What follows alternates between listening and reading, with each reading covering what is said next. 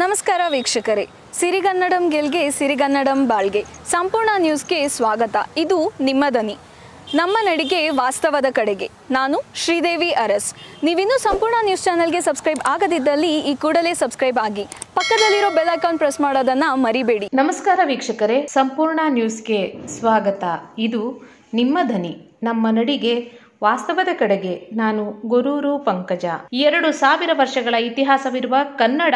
ರಾಷ್ಟ್ರ ಭಾಷೆಯಾಗಲಿ ಕರವೇ ನಾರಾಯಣಗೌಡ ಆಗ್ರಹ. ಕನ್ನಡ ಭಾಷೆಗೆ ಎರಡು ಸಾವಿರ ವರ್ಷಗಳ ಇತಿಹಾಸವಿದೆ. ಹೀಗಾಗಿ ಕನ್ನಡ ಭಾಷೆಯನ್ನು ರಾಷ್ಟ್ರ ಭಾಷೆಯನ್ನಾಗಿ ಮಾಡಿ, ಇಲ್ಲವಾದರೆ ದೇಶದ ಎಲ್ಲಾ ಭಾಷೆಗಳಿಗೂ ಸರಿಸಮಾನವಾದ ಮನ್ನಣೆಯನ್ನ ನೀಡಿ, ಹಿಂದಿ ಭಾಷೆಯನ್ನ ರಾಷ್ಟ್ರೀಯ ಭಾಷೆಯನ್ನಾಗಿ ಬಲವಂತವಾಗಿ ನಮ್ಮ ಮೇಲೆ ಹೇರಬೇಡಿ ಎಂದು ಮೈಸೂರಿನಲ್ಲಿ ಕರವೇ ರಾಜ್ಯಾಧ್ಯಕ್ಷರಾದ ಟಿ. ಎನ್. ನಾರಾಯಣಗೌಡ ಅವರು ಗುಡುಗಿದ್ದಾರೆ. ರಾಣಿ ಬಹದ್ದೂರ್ ಸಭಾಂಗಣದಲ್ಲಿ ನಡೆದ ನೂತನ ಪದಾಧಿಕಾರಿಗಳ ಕಾರ್ಯಕ್ರಮದಲ್ಲಿ ಈ ಹೇಳಿಕೆಯನ್ನ ನೀಡಿದ ನಾರಾಯಣಗೌಡ ಅವರು, ಮರಾಠಿಗರಿಗೆ ಪ್ರಾಧಿಕಾರ ಮಾಡಿರುವುದು ಸರಿಯಲ್ಲ. ಇದು ಚುನಾವಣೆ ಗಿಮಿಕ್. ಅಷ್ಟೇ. ರಾಜ್ಯದ ಸಮಸ್ಯೆಗಳ ಬಗ್ಗೆ ಸರ್ಕಾರಕ್ಕೆ ಕಿಂಚಿತ್ತೂ ಅರಿವಿಲ್ಲ.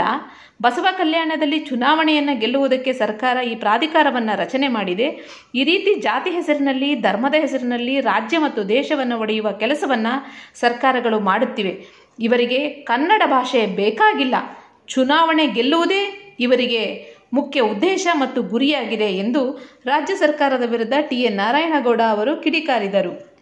ವೀಕ್ಷಕರೇ, ನೀವಿನ್ನೂ ನಮ್ಮ ಸಂಪೂರ್ಣ ನ್ಯೂಸ್ಗೆ ಸಬ್ಸ್ಕ್ರೈಬ್ ಆಗದಿದ್ದಲ್ಲಿ ಈ ಕೂಡಲೇ ಸಬ್ಸ್ಕ್ರೈಬ್ ಆಗಿ ಪಕ್ಕದಲ್ಲಿರುವ ಬೆಲ್ ಐಕಾನ್ ಕ್ಲಿಕ್ ಮಾಡುವುದನ್ನು ಮರೆಯಬೇಡಿ. ಧನ್ಯವಾದಗಳು.